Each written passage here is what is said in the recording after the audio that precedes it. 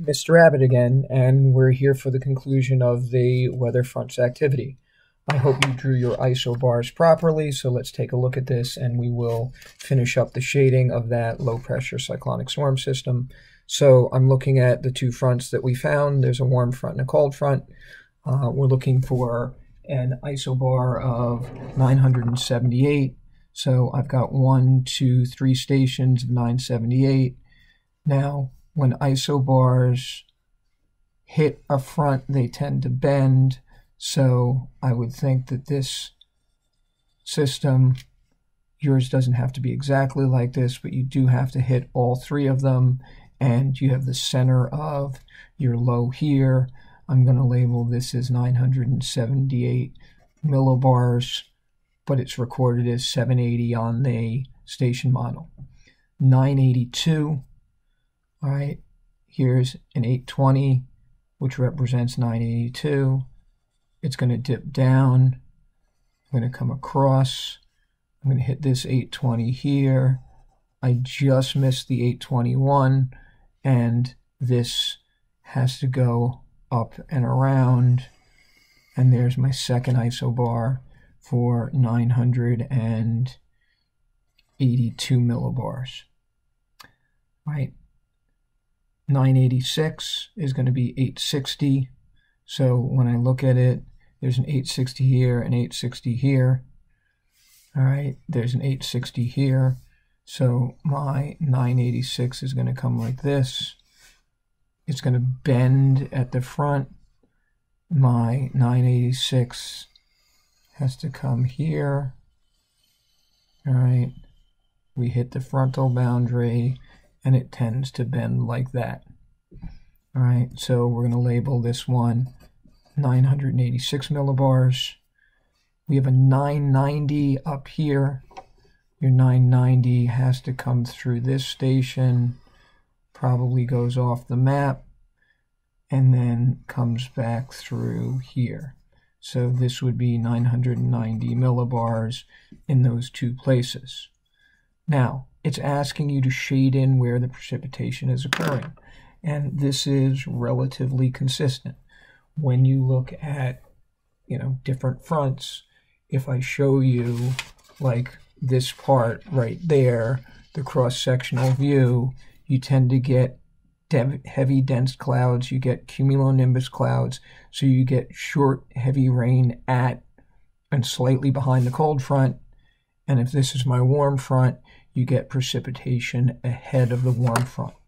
Okay, short and heavy for a cold front, slow and steady for the warm front. So on this map, if I'm shading in the areas, you're going to get a broad area of precipitation out here ahead of your warm front. The rain wraps around your low because the air rises in the center, but then you get a short, heavy band of precipitation along the cold front. Now, I do see that you've got two stations here that are shaded in and filled in, and it indicates it's raining there. I honestly think that would be um, a sort of typo on this, that those stations probably wouldn't have those values recorded at them. So I'm going to disregard those and we'll have to fix those for later.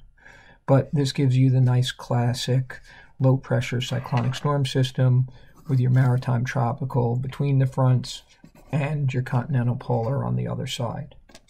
Now, flipping this over, the last part of this activity that you have to do is it's asking you to draw five complete station models, and then label the fronts and the isobars afterwards.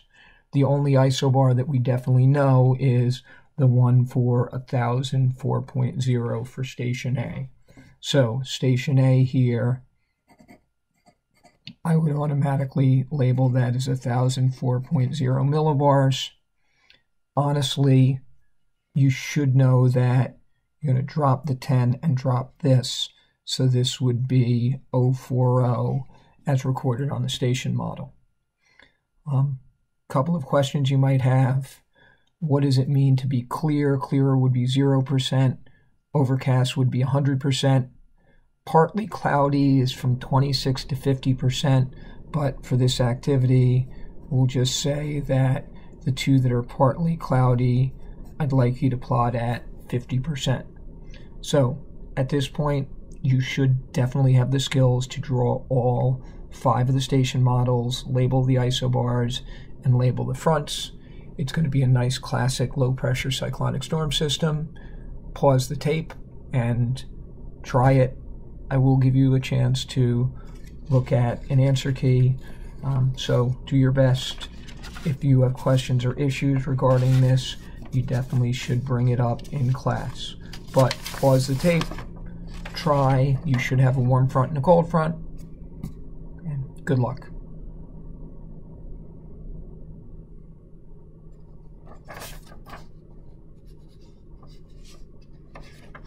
All right, here we go. This is a completed model for this low pressure cyclonic storm system. All right, you'll note that you should have had this as your cold front. Cold front gets short, heavy precipitation. The only station where precipitation is actually indicated was this station has gotten 0.31 inches of rain um, in the last six hours. The temperature is closest to the dew point which means the air is closest to being saturated. All right, when you look at these, you've got one, two, three, four, five station models that you should check. The lowest isobar is labeled 996, and you should have gone all the way up to 1008 millibars there. But this low pressure cyclonic storm system is definitely going to be one of the keys for our understanding of weather Okay, these storms, these systems tend to get tracked or moved across the United States from west to east due to the prevailing winds. Okay, so we're in the prevailing westerlies. Uh, the jet stream can also steer and guide the actual track for where these storms are.